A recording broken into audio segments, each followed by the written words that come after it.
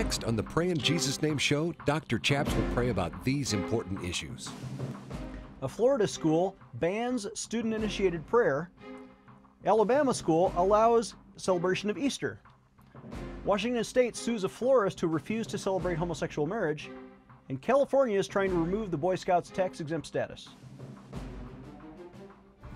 Former Navy chaplain Gordon James Klingenschmitt took a stand to defend religious freedom by daring to pray publicly in Jesus' name. Now he helps you by reporting the news, discerning the spirits, and praying the scriptures. Would you pray with us? Here's Dr. Chaps. God bless you in Jesus' name. I'm Chaplain Gordon James Klingenschmitt, Dr. Chaps on the air with the Pray in Jesus' Name show. We have the fastest half hour in Christian television because we do three things we report the news, we discern the spirits, and we pray the scriptures in Jesus' name. Are you ready to pray with us? Let's get right to our first story.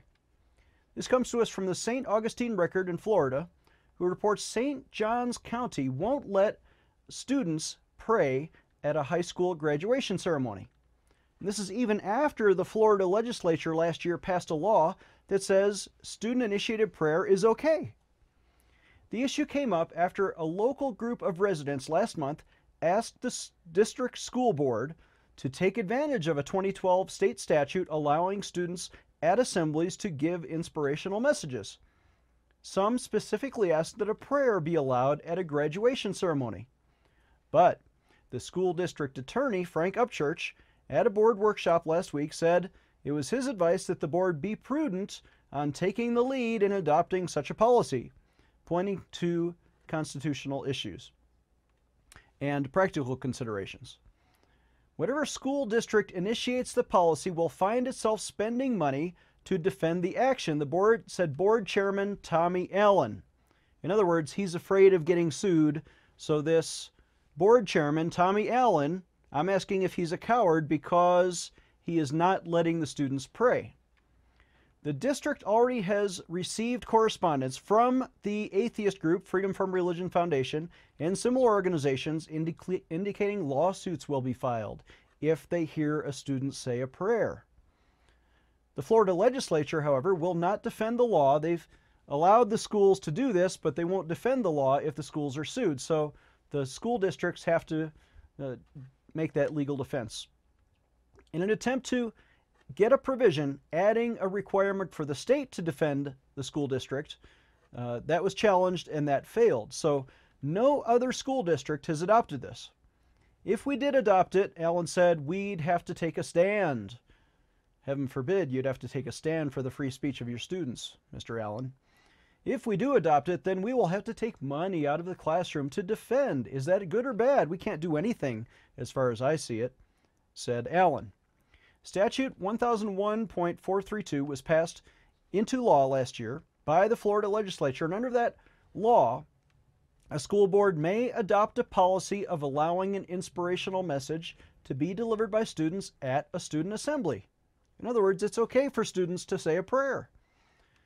Whatever districts decide to adopt the inspirational message can expect lawsuits, complained the atheists in a letter to their lawyer Upchurch. The board that first passes this policy is asking for a lawsuit, said Freedom from Religion Foundation Andrew Seidel. He's their lawyer. He said the foundation distributes scholarships and awards. Now, get this the atheists are giving scholarships and they would publicize the awards if this policy were adopted to incentivize a free thought message that discourages prayers. Did you catch that? The atheists are giving money to schools who promote atheist speeches and discourage Christian speeches. So they got their finger on the scale now. They're promoting state atheism and they're giving a monetary reward to do this. If a student did choose to pray, he warned, that would suggest pressure from faculty or religious adults and enforce the, reinforce the history of the bad policy that allows people to pray. That's the news from St. Augustine record. Now, let's discern the spirits for a minute. Uh, did you catch that? The atheist group is complaining that if there's a free speech policy that allows Christian prayers, well, that must be because of pressure from religious parents. But if there's a policy that allows atheist speeches, well, that's a good thing because we're offering money to incentivize the free thought message, the atheist message, and we're offering money to discourage prayers. Well, wait a minute. Aren't they the ones who are pressuring the students? Why can't the Christians give an incentive when the atheists are giving a monetary incentive to promote atheism? I'll tell you what we're going to do right here on this show. We're going to make news today because I and the Pray in Jesus Name Project, we are offering a $1,000 reward to any high school student in St. Johns County, Florida, who says the Our Father, the prayer that Jesus prayed in Matthew 5, or offers a public prayer that ends in Jesus' name over the school microphone at your graduation ceremony. If you're a student who does this, we'll give you a $1,000 scholarship reward. I'll write a check. You can use it to pay for your tuition. Wait a minute. What did he just do? Am I incentivizing? Am I pressuring students to say a religious prayer? You bet. You bet I am. Just like the atheists are doing, now we're going to do the same thing. And if they want to sue the school district, I pray that you would call Tommy Allen and force him and ask him if he's a coward. Tommy Allen, I'm asking you to stand up for your students' religious freedom, and I'm encouraging my people to call your office today at 904 547 7500. Again, that phone number is 904 547 7500. I pray we ring the phones off of your hook, and I pray that you stand up to defend religious freedom. Because I think some student in your high school is going to have more courage than the cowardly superintendent of schools. Here's what the Bible says about this in Revelation 21. The Bible says, The cowardly, the unbelieving, the vile, murderers, sexual immoral, the idolaters, and all liars, they will be consigned to the fiery lake of burning sulfur. Did you know cowardice is a ungodly trait that can get people thrown into hell? I'm just saying. I'm not saying anybody is going to be that. I'm just saying what the Bible says. Now let's pray about that. Let's pray for a spirit of courage to rise up in these students. Father in heaven, we pray that you will bless every student in that high school, in that entire county, in St. Johns County, Florida, where they are being oppressed by their own supervisor, whose policy contradicts state law, and his policy is to forbid students to pray at a public microphone. Father, bless the student who stands up in courage to pray in Jesus' name or recite the Lord's Prayer on his graduation day at the school microphone. Father, I pray that you will uh, send us the donors. I'm doing this by faith that we'll be able to pay that $1,000 reward in the coming year. We pray this blessing in Jesus' name. Amen and amen. All right, let's take a short break. When we come back, an Alabama school allows students to celebrate Easter.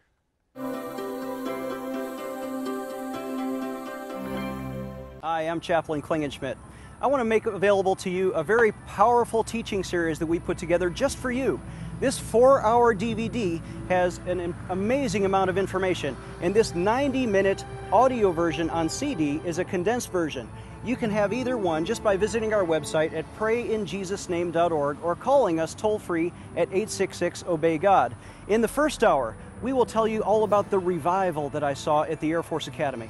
In the second hour, we'll teach you about the importance of prayer and fasting and sanctification for this spiritual battle that we're all in. In the third hour, we'll tell you about the ministry of deliverance and even the miracles and exorcism stories that I saw when I was a Navy chaplain.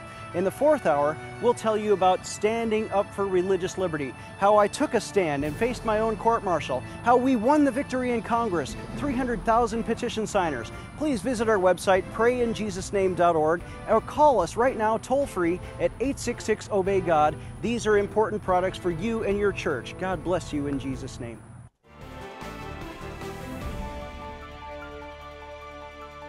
God bless you in Jesus' name. I'm Chaplain Gordon James Klingenschmitt, Dr. Chaps on the air with the Pray in Jesus' Name show. And again, we're going to report the news, discern the spirits, and pray the scriptures together in Jesus' name. Our next story again comes to us from the Liberty Institute blog, which reports an Alabama school district has rescinded their ban on students celebrating Easter. Last month, an Alabama elementary school principal banned the word Easter as illegal speech he did that in the interest of religious diversity. But the ban included a cancellation of the school's Easter egg hunt for kindergarten and second grade students. According to WHNT Linda Davenport, the principal of Heritage Elementary School told teachers no activities related to or centered upon any religious holiday would be allowed in the interest of religious diversity. You're kidding, right? That's like the opposite of religious diversity.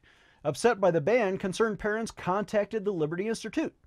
So Hiram Sasser, the director and attorney for litigation, said clearly established Supreme Court precedent prohibits schools from censoring religious speech of students and parents.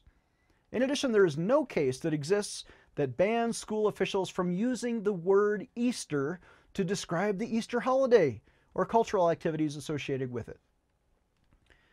After a public outcry, Madison City School Superintendent Dee Fowler, Dee Fowler made the decision to lift the ban, allowing students to participate in a planned Easter egg hunt. Teachers and school administrators are so afraid of lawsuits that they hastily placed bans on any religious activity or speech, especially around the holidays. These bans are based on misinformation campaigns, usually originating from groups like the Freedom from Religion Foundation or the Anti Christian Liberties Union, ACLU. So that's the news, as reported by these other uh, Christian organizations. The Liberty Institute blog. I pray for you, Hiram Sasser, and your legal work and everyone on your team. Uh, let me encourage you. Listen, I the the background for Easter. We got to try and discern the spirits a little bit here, right? I know that the word Easter may not have a Christian origin, but the concept is Resurrection Day. When Jesus was raised from the dead, that he is the King of Kings and Lord of Lords, and that's certainly worthy of celebration, not just at Christmas when Christ was born, but on Easter when we celebrate the risen Christ, that Jesus, having been crucified for our sins, is actually raised from the dead. And I'm not into bunny rabbits and, and Easter eggs. I don't know if there's a Christian symbolism there that I'm not uh, up to speed on, but a lot of those little plastic eggs, if you open them up, they're empty inside, and that can symbolize the empty tomb. And I encourage you to think about Christ, think about the empty tomb, because I went to Jerusalem. I stood in the garden tomb and I looked into the grave, and you know what? There's no body there. It says in Mark 16, here's a quote from the angel You are looking for Jesus the Nazarene who was crucified. He has risen. He is not here. See the place where they laid him. I think, therefore, the Holy Spirit is the one who inspires children to think about the risen Christ and to celebrate that religious diversity even in public schools. God bless the courageous, the Holy Spirit inspired superintendent of schools who rebuked the demonic teacher who said Easter is evil. We can't talk about that. That's an illegal word. Well, who are you but the devil? We call you out and we invite the Holy Spirit to rebuke you and replace you in Jesus' name. Let's take a moment and pray. Father, we pray for religious liberty for all of our students in all the schools, not just in Alabama, but in Florida and in California, in uh, Massachusetts, around the country where student liberty is being oppressed by tyrannical government. Father, we pray you would give them their First Amendment freedom of religious diversity and to express their faith and not to punish any one student who would speak out. We pray this blessing upon America. God bless America with religious liberty for our students. In Jesus' name, amen. All right, when we come back, we're going to talk about Washington State now suing a florist. Why? Because he wouldn't celebrate homosexual marriage.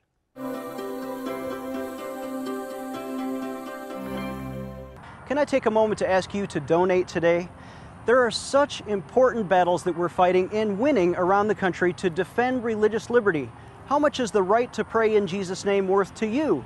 Well, to me, it was worth a 16 year career and a million dollar pension, which I sacrificed to defend Jesus Christ. I'm asking you to call us today, toll free at 866 Obey God, and make a donation. How much would you pay to defend religious liberty? Would you give $10 or $20 or $100? I bet there's some people who are watching who can even give $1,000 today just to help us stay on the air, to broadcast this into people's homes, to organize these petition drives, and especially we spend thousands of dollars organizing rallies around the country and petitioning legislators. Please call us today at 866 Obey God and give the best pledge that you can give to defend religious liberty and take a stand for Jesus Christ. We can't do it without you. Please donate today. Stay tuned for the end of our show to learn how to partner with this ministry. Here's Dr. Chaps. God bless you in Jesus' name. I pray that you will donate. We need $1,000 to issue that reward, as I did courageously at the beginning of this show, to encourage any student in the St. Johns County, Florida district to say a prayer at your graduation ceremony. Pray in Jesus' name, say the Our Father. We'll, we'll fund your scholarship. Our next story comes to us from Political Outcast blog, and they're reporting that Washington State, the government, is now suing a florist, a Christian florist, because that Christian florist refused to help celebrate a homosexual wedding. The hero of this story, Baronelle Stutzman, is taking a stand, and she has owned Arlene's Flowers in Richmond, Washington for a number of years. She's taken business from all kinds of people and all kinds of backgrounds, including homosexuals. And in fact, she's hired employees who have worked at her florist shop who are also homosexual. So this is not about discrimination in employment, but one of Stutzman's longtime customers is Robert Ingersoll. And she had no issue with him being gay or even providing him flowers on various occasions in the past. But all that changed when he demanded she provide flowers to his homosexual wedding to his gay partner, Curt Freed the Christian woman explained she's a Christian and that she has a moral objection to be able to place that order to help send flowers to help him celebrate his homosexual wedding, quote unquote wedding. Reports indicate that he told her that he respected her opinion, and the two friends embraced in a hug, and Ingersoll went on his way. But then later, uh, Stutzman believed the issue was over, and she went out about went about her business selling flowers and then she received a legal notice that she was being sued by the Washington State Attorney General on charges of sexual discrimination. So now she's being sued? For what?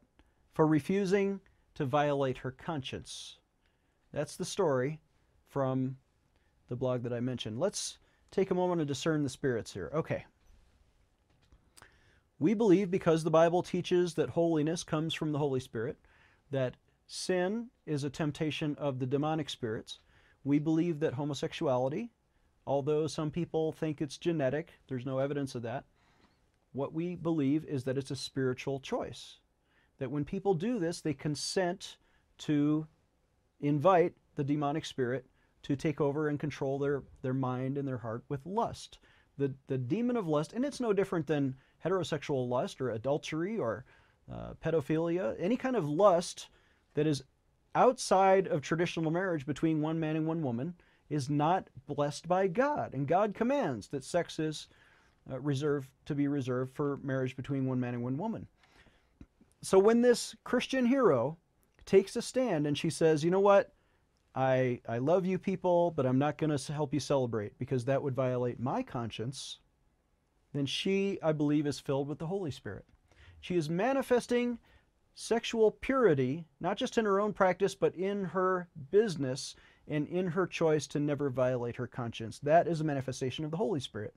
And why do I say that? Because the Bible says in Job 27 and verse 6, I will maintain my innocence and never let go of it. My conscience will not reproach me as long as I live. And Baronelle, we, we applaud you for taking this stand, and we're going to pray for you right now. Father in heaven, we pray for a, re, a victory in this court. And we pray that you would step down and oppose the government tyranny that would stop Christian conscience from choosing who we celebrate and who we send our flowers to. God, we pray in Jesus' name that you will give religious liberty to every business person in the state of Washington. That even as uh, the devil tries to come and force us to violate our conscience, that the Spirit of God would rise up, because greater is He who is in us than He who is in the world. The Spirit of God would rise up in this courageous woman, Baronelle Stutzman, and give her victory. In Jesus' name we pray. Amen. Let's take a short break. When we come back, a California bill to penalize the, the Boy Scouts.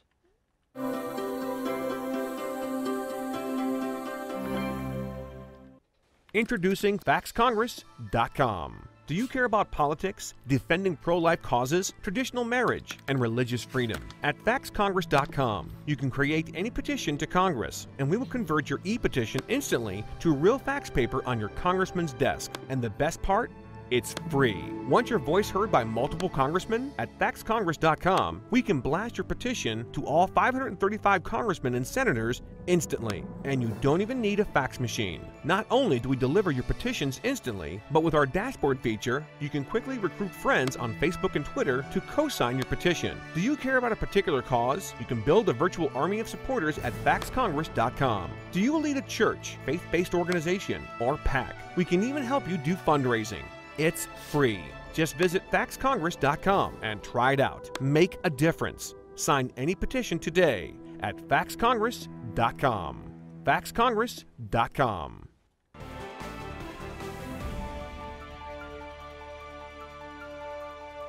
God bless you in Jesus' name. Let's get right to our last story for today.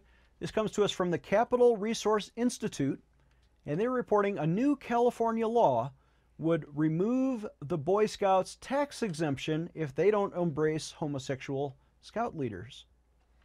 California's SB 323 came one step closer to becoming law of the Golden State as the bill easily passed out of the, the California Senate Governance and Finance Committee.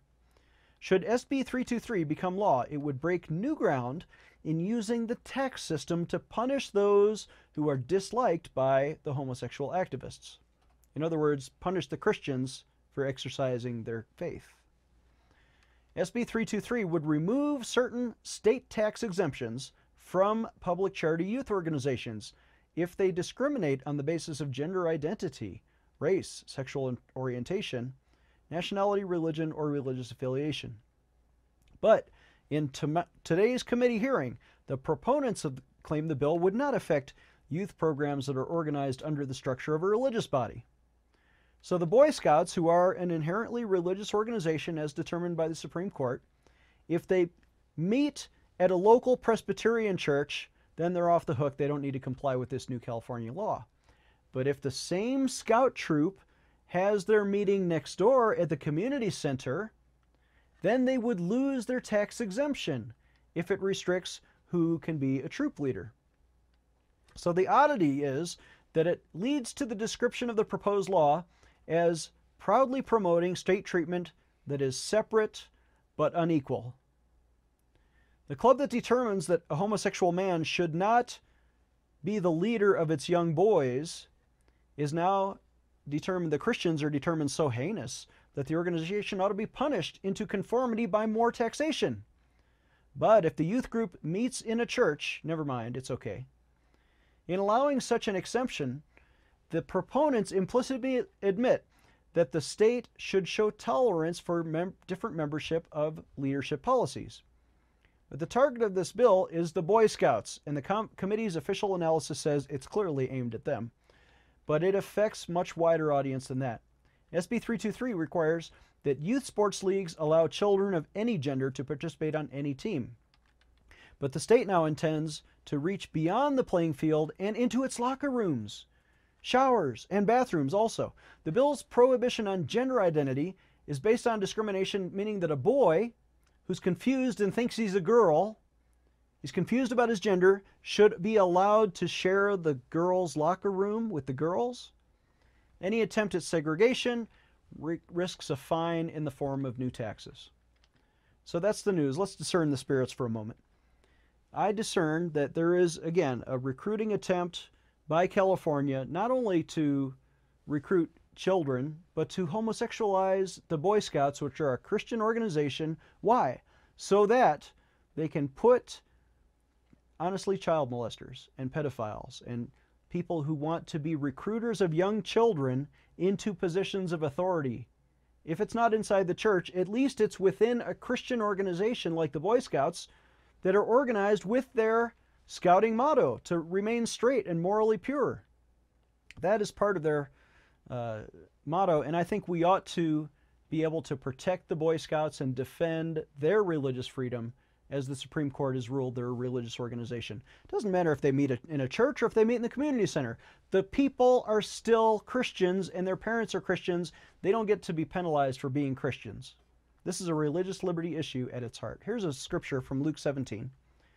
It'd be better for him if a millstone, this is talking about child molesters and pedophiles, to have a millstone hung around his neck and be drowned in the depth of the sea than it would be to cause one of these little ones to stumble. Would you pray with me? Father in heaven, we pray in Jesus' name that you will give liberty to the Boy Scouts to protect their freedom from this heinous California law. Stop the molesters from coming in and destroying our religious freedom and our children. In Jesus' name, amen. Let's take one last break. I'll preview tomorrow's show. Thank you for joining us in prayer. Stay tuned for valuable info about partnering with Dr. Chaps. Hi, this is Chaplain Klingenschmitt. I want to thank you for participating and watching this important message today about defending religious liberty. If there's anything our message proves is that we can make a difference. If we will rise up together as the Church of Jesus Christ, we do not need to be ashamed of the name of Jesus. I need you to participate today in one of four ways. Please visit our website at prayinjesusname.org. Again, that's prayinjesusname.org and sign our free petitions to defend religious liberty. Number two, I need you to call us at 866 Obey God, and we, you can sign what they call a fax petition. You don't have to know how to operate a fax machine, but for a nominal fee, we will fax your petition to all 100 senators or all 535 congressmen to defend the right to pray in Jesus' name. Number three, please purchase our DVDs and CDs with important teachings about defending religious liberty around the country. And number four, please donate. These rallies cost us thousands of dollars, and we need your donations to stay on the air. Please call us today at 866 Obey God and do what you can to help. Stay tuned for the end of our show to learn how to partner with this ministry. Here's Dr. Chaps. God bless you in Jesus' name. On tomorrow's show, we're going to discuss President Obama is now appointed three new homosexual judges. North Korea may be giving nuclear tipped missiles to Iran to help destroy Israel.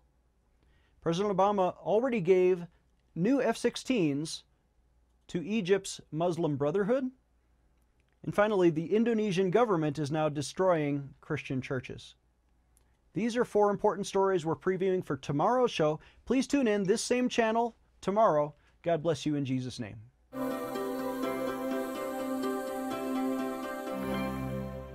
Chaplain Klingenschmitt is a graduate of the U.S. Air Force Academy who earned his PhD in theology from Regent University. As a former Navy chaplain, by taking a public stand for freedom of speech and religious expression, and by sacrificing his own 16 year career and million dollar pension, he was vindicated by the U.S. Congress, who changed the law and restored freedom for military chaplains to pray in Jesus' name. Dr. Chaps not only defended the Constitution, but his petitions have helped change the law in 10 states, restoring freedom to pray in Jesus' name. Dr. Chaps needs your financial support to stay on the air. Would you please send your best donation today? Please visit prayinjesusname.org to donate online. Or you can mail a check to Pray in Jesus Name Ministries, Post Office Box 77077, Colorado Springs, Colorado 80970.